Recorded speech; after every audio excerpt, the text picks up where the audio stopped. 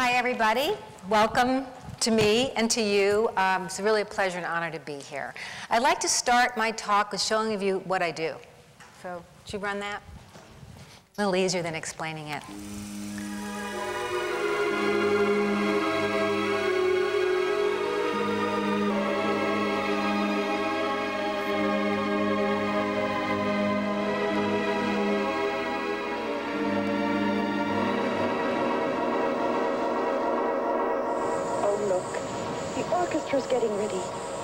With me, George. Catch up to my step Catch up to my step Steppin', steppin', steppin', steppin', catch up to my step Steppin' on up, y'all. Ladies and gentlemen. Hi. Ladies and gentlemen. Hi. One and only. Check this out.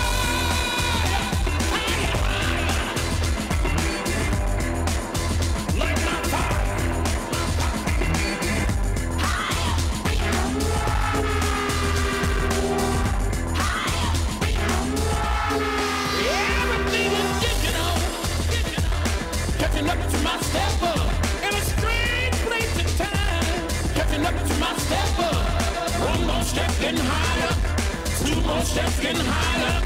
One more step getting higher. Three more steps getting higher. Four more steps getting higher. Five more steps getting higher. Six more steps getting higher. Seven steps higher.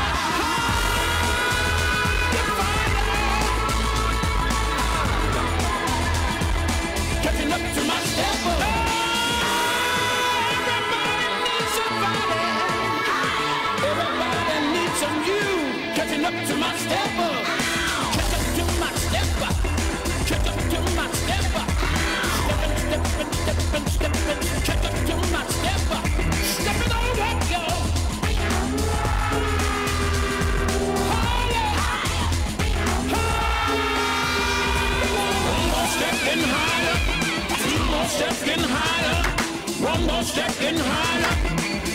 Steps getting higher. Four more steps getting higher. More steps getting higher. Six more steps getting higher. Seven steps higher.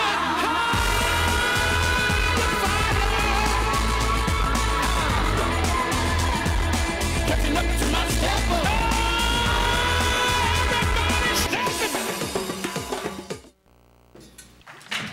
Thank you.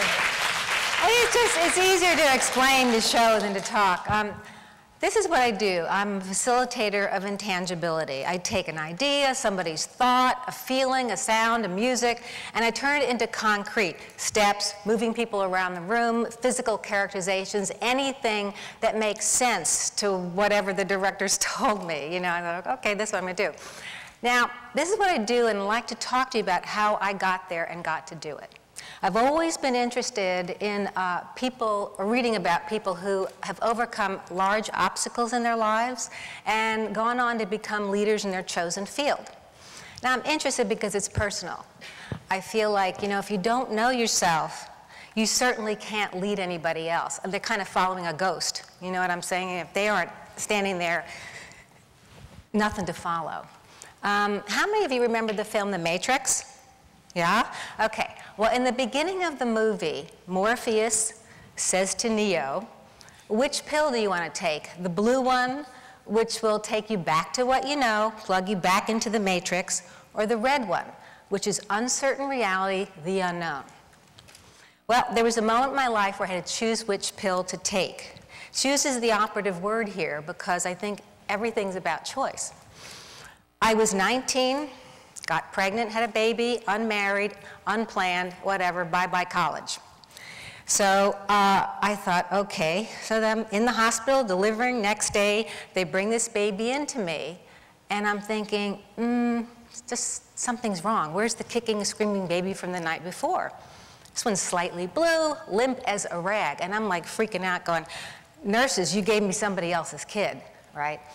Tried to calm me down. The doctor comes in and he says, uh, looks as if the fluid wasn't cleared out of her lungs.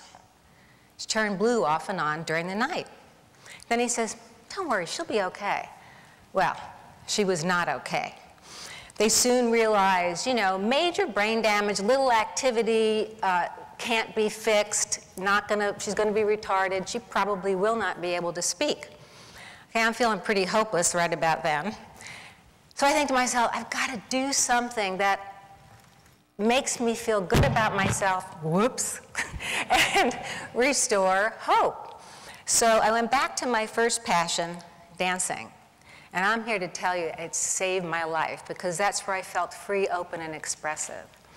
You know, um, it's, it's tricky. Uh, even though the doctors told me that there was not much going on, I always knew that there was. I could see it in her eyes, and I believed myself. One of my favorite stories is what I call the dictionary story. By that time, I had married a man who was a professor of English literature. He had all these books, gorgeous bound Oxford Dictionary on an ornate stand in the living room. Occasionally, she'd mess with that book. She could get into the same kind of trouble any two-year-old. You know, the brain damage didn't stop that part. So one day she comes into the room, and she's flipping the page. And I say, Joni, stop it, right? Leaves the room, comes back in attitude is totally different now. She stands there and she looks at me and she goes, flip. I'm like going, wait a second. There's something going on here. This kid gets cause and effect. So I'm like, all right, okay, I can do it. I can find that thing in her mind that's going to open it up and I'm going to get her to her full potential. So I think to myself, I'm going to teach her how to talk, even though they said, no, she's not going to talk. Well, around this time, she's beginning to respond to music. So I played everything I could think of uh, that might, you know, inspire her, whatever. And so, you know what she responded to the most? The Beatles. All you need is love, swear to God, right? It's like listening to the words of Lennon and McCartney. She started imitating words and sounds. So I'm thinking, hmm, what else is going on up there? you know what I mean? Now, this kid could be very sort of little Yoda like. And I, so I thought, well, I'm going to test her out, see what she understands about the world, you know, personal relationships, anything, constructs, what's marriage. So one day I say, Joni, so what do married people do? Swear to God, she looked, brilliant simplicity. She looks at me and she goes, talk, do sex, hunt for food. I mean, right? Is that the best definition you've ever heard, right? It's kind of, it's very true. Um, you know, I, I, it, life is funny. I probably never would have done any of this. Become a dancer in New York, had a dance company, learned to negotiate the pitfalls of Hollywood, and there are many. If I hadn't ha had to deal with the adversity of her handicap. You know, it taught me tenacity. It taught me to find solutions where none existed. You know, that's what you got to do. Um, I was used to operating without a template. Because what I do is kind of hard to explain. It always changes with whomever's in front of me, whatever animal I'm faced with, kind of like what Jane said, you know, there it is, there's that person, mm, what do you do? So my, my favorite job interview was with a director named Frank Oz. He did a film called In the Cupboard. Those of you don't know who he is, he's the man who created Miss Piggy for the Muppets. I'm thinking, wow, this is going to be fun, right? I go to the, to the interview, and totally filled with puppets. His family's been doing it forever. I'm sitting there and he goes, and I've been recommended to him as an acting coach. By the way, not a choreographer. I kind of do that too. It's all the same. You either is or you isn't, you know, whether you're speaking or moving. So he, he says to me, so, you know, I've never hired an acting coach. What is it you do? I look at him and I said, I don't know. he looked at me and said, you're hired. Because he, he got it. You know, I, there's no recipe. Everything what comes in front of you, you have to step inside that world and figure out what it is you're dealing with from whatever you guys want to be. You know, that's it. And um, I, I don't know. It's just like passion is the way to get there. I think you, if you come from that place, you're coming from a truth, your truth, whatever that is for you, that's where you want to come from. Now, other, last story is I was invited back to my graduate alma mater, alma mater, Smith College and they wanted me to do a five-day choreography workshop with a select group of graduate students. So I thought, okay, this will be fun. And the faculty decided to have a dinner afterwards. I thought, okay, we're gonna talk, relax, tell you each other what you did, the intensity was like, all this kind of stuff. So uh, one student came up to me and she said, um, so, do you think I have what it takes to make it in New York as a dancer? My mind's going, this chick came to three of the five classes. I'm like, going, honey, you don't. and she went, what? she goes, why not? And I said, well, you came to three of the five classes. And well, I had tests, I had papers, whatever. And I said, look, you can't let that distract you for something that's supposed to mean so much to you, right?